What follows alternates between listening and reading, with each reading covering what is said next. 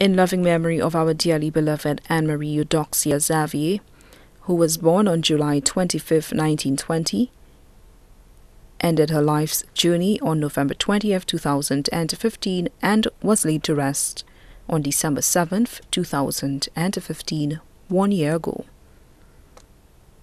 Miss me, but let me go. When I come to the end of the road and the sun has set for me, I want no rites in a gloom filled room. Why cry for a soul set free?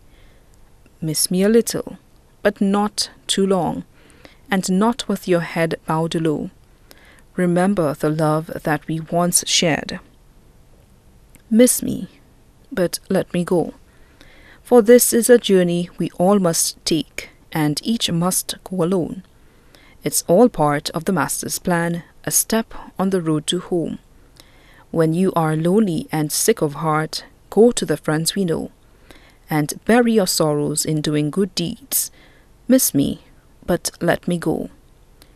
Words provided by her only daughter, grandchildren, and great grandchildren.